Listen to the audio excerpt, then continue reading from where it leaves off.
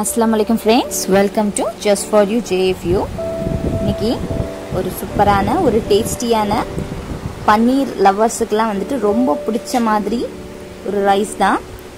எப்படி செய்யலாங்கிறத நம்ம பார்க்கலாம் வாங்க. பார்க்குறதுக்கே ரொம்ப டெலிஷியஸாக இருக்கா? அந்த மாதிரியான ஒரு ரைஸ் தான். கிட்ஸ்லேருந்து பெரியவங்க வரைக்கும் பிடிச்சமான ஒரு ரைஸ் தான் இது. ஸோ ஸ்டார்ட் பண்ணிடலாம். இப்போ நம்ம வந்துட்டு ஒரு பேன் வச்சுக்கலாம். பேனை ஹீட் பண்ணிவிட்டு அதில் வந்து ஒரு ரெண்டு ஸ்பூன் அளவுக்கு வந்துட்டு ஆயில் விட்டுக்கிறேன்.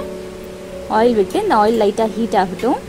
இதில் வந்து ஒரு பத்து பல் பூண்டு எடுத்து உரித்து இந்த மாதிரி பொடியாக நறுக்கி வச்சுருக்கேன். ஸோ அதையும் நம்ம இதில் போட்டுட்டு நல்லா ஃப்ரை பண்ணிக்கலாம்.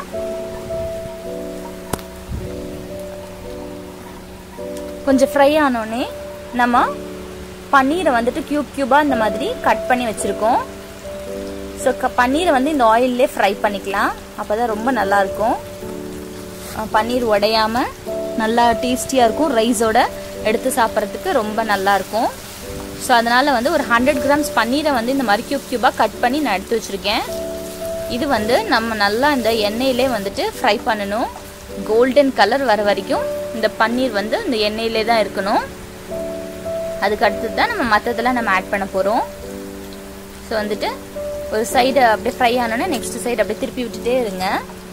இந்த மாதிரி பண்ணி விட்டுட்டே இருந்தீங்கன்னா எல்லா சைடும் அப்படியே கோல்டன் கலர் ஆயிடும்.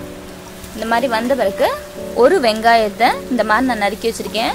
நீங்கள் வந்துட்டு வெங்காயத்தை வந்து டைஸ் பண்ணி கூட போட்டுக்கலாம். ஸோ வெங்காயத்தை போட்டு ஒரு பாதி குக் ஆனாலே போதும். அதுக்கு அடுத்தது வந்து நான் வந்துட்டு ஒரு கொடை மிளகாய் பெரிய கொடை மிளகாய் எடுத்திருக்கேன். அந்த பெரிய கொடை மிளகாய் நீட் நீட்டாக நான் கட் பண்ணி வச்சுருக்கேன். அதுதான் நான் இப்போ போட்டுக்கிறேன். போட்டுட்டு அதையும் கொஞ்சம் நல்லா வதக்கி விட்டுருங்க.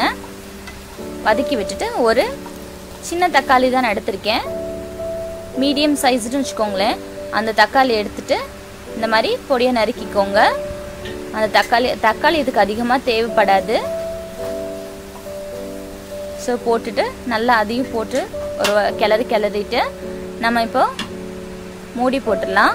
மூடி போட்டு இது வந்து ஒரு ரெண்டு நிமிஷத்துக்கு ஒன்றா வேகட்டும். அப்போ வந்து தக்காளிலாம் பார்த்தீங்கன்னா கொஞ்சம் நல்லா மசிஞ்சு மாதிரி ஆகிடும் ஸோ மற்றது எல்லா வெஜிடபிள்ஸும் வந்து நமக்கு நல்லா குக் ஆகிருக்கும் ஆனியனும் குக் ஆகிடுச்சு கேப்சிகமும் குக் ஆகிடுச்சு தக்காளி பார்த்தீங்கன்னா நான் சொன்ன மாதிரி லைட்டாக மசிஞ்சிருக்கு. அது மாதிரி ஒரு வாட்டி கிளறி விட்டுறலாம். கிளறி விட்டுட்டு ஒரு ஸ்பூன் அளவுக்கு நான் வந்துட்டு சோயா சாஸ் ஆட் பண்ணுறேன் சோய் சாஸ் ஆட் பண்ணிவிட்டு இதுக்கு தேவையான அளவுக்கு சால்ட்டு போட்டிருக்கேன். நான் ஆல்ரெடி வந்துட்டு ரைஸ் வந்து சால்ட்டு போட்டு தான் குக் பண்ணியிருக்கேன்.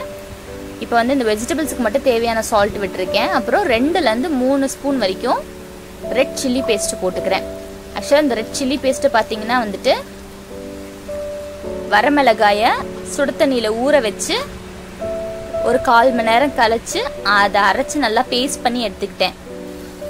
அந்த இதுதான் நான் இப்போ போட்டிருக்கிறது. போட்டுட்டு அந்த பச்சை வாசனை போனோடனே ரைஸ் ஆட் பண்ணிடலாம். இது வந்து பார்த்தீங்கன்னா குட்டி பசங்களாக இருந்தால் ரெண்டு பேர் நல்லா தாராளமாக சாப்பிட்லாம். பெரியவங்களா இருந்தால் ஒருத்தவங்க சாப்பிட்டுட்டு மீதம் இருக்கும். அந்த அளவுக்கு சாப்பிட்லாம். ஸோ இந்த மாதிரி ரைஸை போட்டுட்டு நல்லா கிளறி விட்டுருங்க. ரைஸ் வந்து குழையாமல் உதிரியாக இருந்துச்சுன்னா ரொம்ப நல்லாயிருக்கும் லைட்டாக அங்கங்கே கட்டி இருந்துச்சுன்னா நம்ம வந்து இந்த மாதிரி உடச்சி விட்டுறணும். இது வந்து பார்த்தீங்கன்னா வந்துட்டு லெஃப்ட் ஓவர் ரைஸில் பண்ணால் கூட ரொம்ப நல்லா டேஸ்டியாக இருக்கும்.